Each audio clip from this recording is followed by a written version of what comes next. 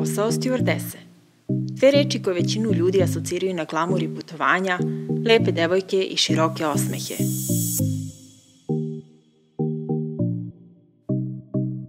Ali da li je ovaj posao zaista i dalje tako glamorozan kao što je bio u zlatno doba letenja 50. i 60. godina?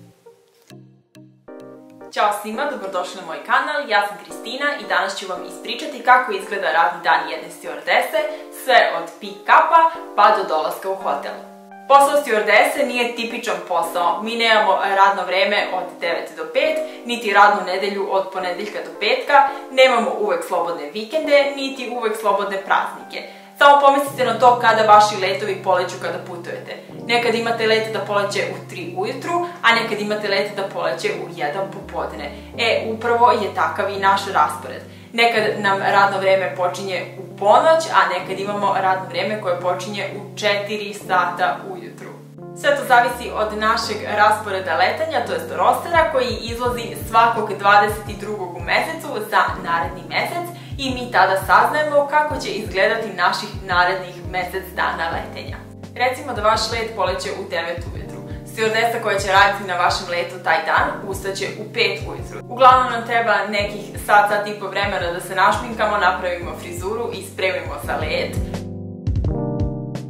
Trudimo se da se spakujemo barem dan unapred ili nekoliko sati unapred. Aviokompanije uglavnom organizuju prevoz za svoje zaposlene, to je za stewardese i stewardese, kako bi se postarali da svi dođu na aerodrom približno u isto vreme i da niko ne kasni, jer ukoliko posada kasni na let, onda to dovodi do poremećaja u rasporedima letenja. Prevoz, to je pick-up do aerodroma, uglavnom je sat i do 45 minuta pred briefing koji je na aerodromu. Mi u Etihad imamo posebnu zgradu u kojoj se održavaju briefinzi i ta zgrada se zove Crew Briefing Center. Prvo što treba da uradite kada dođete na aerodrom jeste da se čekirate, to je da skenirate svoj ID u kiosk mašinama i te kiosk mašine vam postavljaju dva sigurnosna pitanja. Jedno pitanje je iz bezbednosti i sigurnosti i drugo pitanje iz prve pomoći. Kako biste se uspešno čekirali, morate da odgovorite tačno na oba pitanja.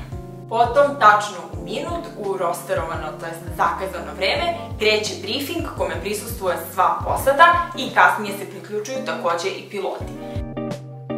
Briefing vodi cabin manager i on ili ona nam daju informacije o tom letu, naime koliko imamo neke posebne goste, koliko će biti gosti u koji će doći u avion u kolicima, ukoliko imamo neke goste koji imaju nekih problema zdravstvenih i e, takođe se posada na briefingu upoznaje među sobom, naime svi se predstavljaju, kažu svoje ime, koje jezike pričaju i odakle dolaze. Posle briefinga svi krećemo prema imigracionom koje je u slučaju posade vrlo automatizovano, samo skeniramo posebne kartice koje dobijemo i takođe kao i svi drugi gosti na letu prolazimo kroz skener. Autobus nas onda dovozi do aviona. Prvo što uradimo kada uđemo u avion jeste da proverimo svu opremu, da li sve nalazi u dobrom stanju, da li je sve na svom mestu i da li je sve u pravom broju.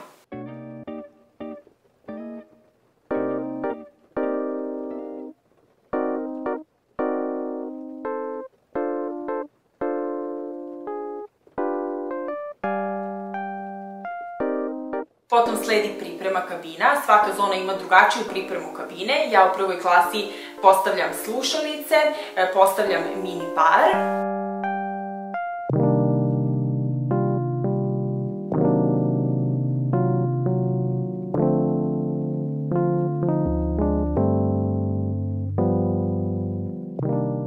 U kupatilo stavljam hand sanitizer, kremu za ruke i facial mist kao i peškiriće za brisanje ruku.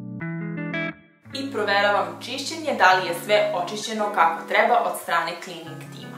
Za vreme boardinga možete stajati ili na boarding stationu ili možete stajati u kabini i da dočekujete goste u kabini. Ja u prvoj klasi za vreme boardinga uglavnom sam u kabini, dočekujem goste, pomažem im da ostave svoje sakoje, kao i svoje torbe i donosim im piće dobrodošlice. Gostima tada naravno dajemo i pidžame i papuče kao i mali neseser sa kozmetikom i drugim potrebštinama. Kada su svi gosti ušli u avion, sva potrebna dokumentacija se predala ground staffu, uzeli su se dokumenti za kargo, tada se zatvaraju vrata aviona i mi tada armiramo vrata.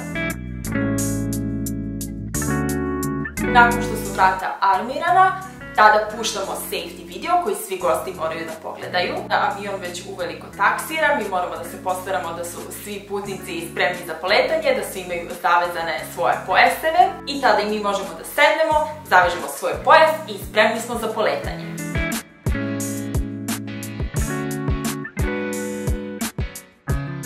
Poletanje je kritična faza leta i tada posada ne može da odgovara na call bells i moramo da sedimo u semi-brace poziciji.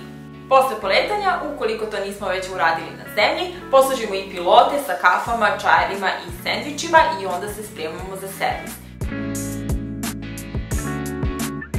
Kako izgleda servis, zavisi od toga u kojoj zoni radite. U ekonomiji svi putnici uglavnom moraju da jedu i da dobiju piće u isto vreme, to jest imamo set service timings. U prvoj klasi i business klasi imamo on-demand dining koncept, znači da putnici mogu da biraju kada će da jedu i da piju.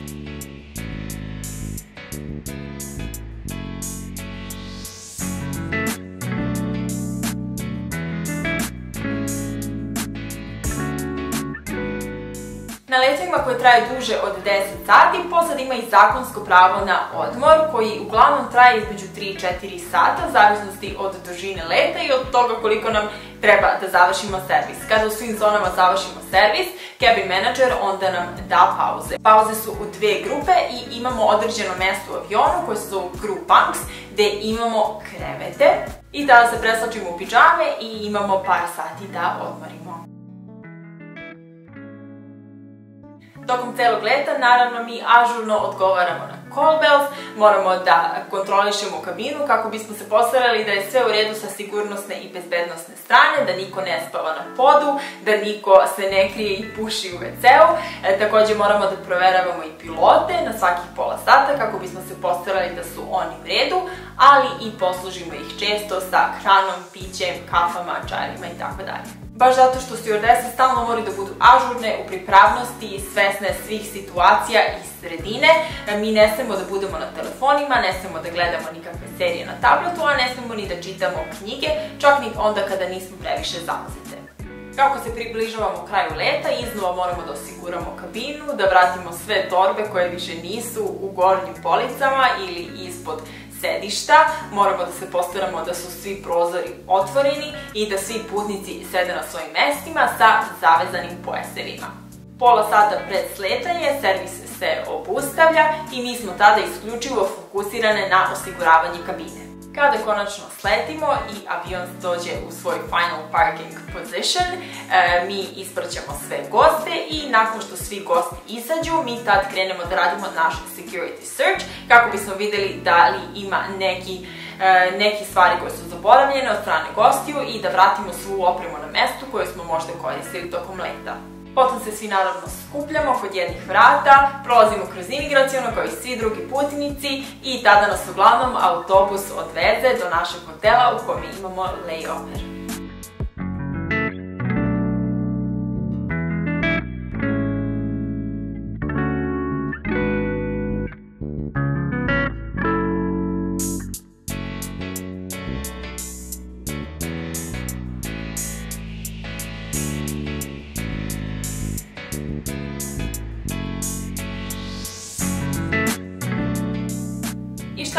Šta vi mislite? Da li je posao stewardesa i dalje tako glamorozan u 2020. godini kao što je bio 50. i 60. godina? Pišite mi vaše mišljenje u komentarima ispod, kao i bilo kakva pitanja koja možete imati vezana za posao stewardese. Ne zaboravite da se subscribe na moj kanal, da lajkujete ovaj video i vidimo se u nekom od sledećih videa.